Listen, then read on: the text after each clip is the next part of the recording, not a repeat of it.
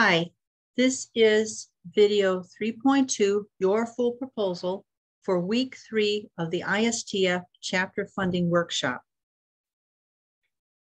Now, what we're covering in this week, Daniel has already covered letters of intent or letters of interest.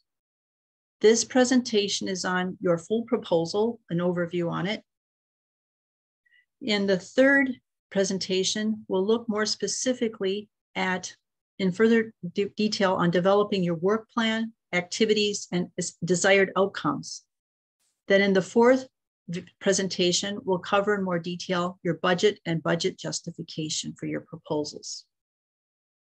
So in the full proposal, again, the things we're wanting to include in a general way are the problem to be solved and the background for that problem, the goals and the SMART objectives, the theory of change, activities and outcomes, that will be covered in the third um, presentation for this week, budget in the fourth presentation for this week. Timeline we've already talked about, and evaluation will um, be covered in week five. So the format of funder, uh, whether it's an embassy or another funding organization, they vary from organization to organization. Sometimes it's a letter of intent, a short letter of intent, and then an invitation to submit a full proposal. Sometimes the funder would like a full proposal right away. In this presentation, we're going to look at the requirements of a couple of embassy calls for full proposals. Now, whoever the funder is or embassy is, you want to meet, help them meet their goals. So you need to read the funder's website. What are the stated goals of that organization? How will your particular project support those goals? What kinds of projects are they funding? So read the program you're applying for carefully and then understand what the purpose is of that particular program under that funder. How will your project support the purpose of that particular program? Check the requirements carefully. And then after you've done that, follow the instructions to the T and make sure you meet all the requirements. Don't leave anything out. So let's consider the first example then, US Embassy self-help programs, particularly for the country of Guinea. And the full description is available at this link. I'm just giving you the overview of what the requirements are so you can see how it varies some from what we've talked about already, but it incorporates many of the things we've talked about. Now, these um, proposals are rather involved. They're a small amount of money, five to ten thousand dollars, and you need to read the project, the, the program description to find out what kinds of projects will be funded and what kind will not, not be funded. The first thing they have is a series of mandatory forms that are mostly about the budget details. Then there is a summary page where you give them some information about yourself as the applier. Then the proposal itself has a maximum of about seven pages. And many of these components we've already talked about. Um, the short, a short summary of what the proposal is about overall, an introduction to the organization or the individual who is applying for the funding, a clear statement of the problem that needs to be addressed, the goals and objectives you want to achieve in relation to that problem, the activities you want to carry out to achieve those objectives.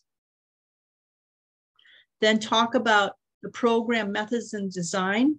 This is your approach to solving the problem and it moves over into the idea of the theory of change and logic models.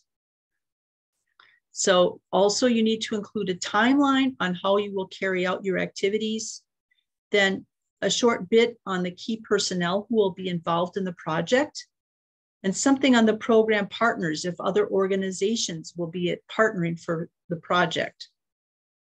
And monitoring and evaluation this is very important so that you are keeping track of how you're doing in achieving your objectives. They also want to know about the future funding for the sustainability of your project beyond the period that they will be providing money.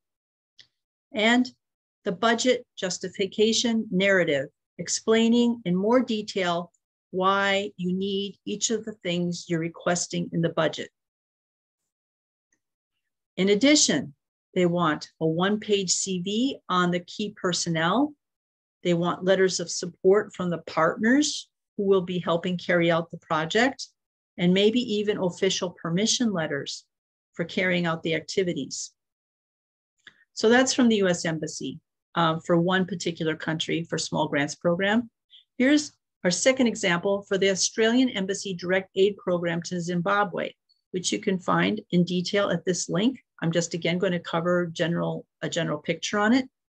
This application is simpler than the US Embassy self-help program, but it's for more money, $45,000. However, the awards are limited in number. So here's some, and then uh, Australia Embassy has, and the US Embassy, they've got programs, similar programs for other countries. I'm just giving you examples for one country for each. So some of the questions that the embassy, the Australian direct aid program will ask are, what are your key achievements to date for your organization? A short description of the pro program, that project you want to carry out, the budget you want to request, and quotes for the things you want to purchase. Then what are other sources of funding from other donors that you might be using also for carrying out this project? So, and then problem statement, why this work needs to be done. What are the planned activities? What are the expected outcomes? How will you know if you've achieved those outcomes? Evaluation again. Then, in considering this time of COVID 19, what kind of challenges does COVID present for your project and how can you work around them? Then, who will benefit from the project? And explain how the project will be sustainable after the funding period ends. Then um, also they'd like you to do a little bit of promotion for Australia, having provided you funding for your project. Now there are other embassies with other small grants programs. One of them is here for Canada at this link. This is another example. And then there are another number of other embassies given here that you might check. Now, it's difficult to find the exact information in a big list at one website for all these countries um, under one embassy. So you have to search individually for your country with each donor. And I suggest an internet strategy like this small grants, then put the donor country, then embassy, then the name of your country. And I hope that find, helps you find one or more programs from one of these embassies that might fit your, your needs. So in, in, in conclusion, don't be discouraged. Keep in mind that most proposals are not funded. And if they're not funded, well, if you're not funded, you can ask them maybe why you weren't funded. Maybe they'll give you a critique. And sometimes you can fix the problems and resubmit. Or you can take your proposal to another funding organization. So here's some references that might help you find that funding for small grants at different embassies.